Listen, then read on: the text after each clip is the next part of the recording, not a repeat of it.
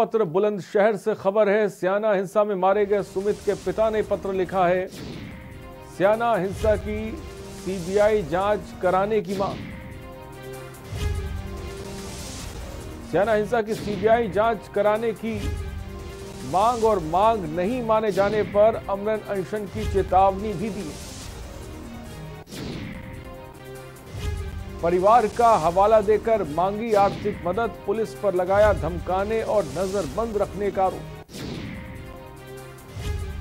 Police पर लगाया धमकी, धमकाने और नजरबंद रखने का आरोप।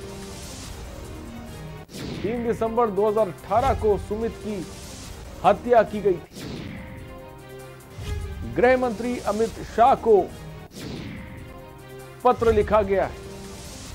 सियाना हिंसा में मारे गए सुमित के पिता ने यह खत लिखा है।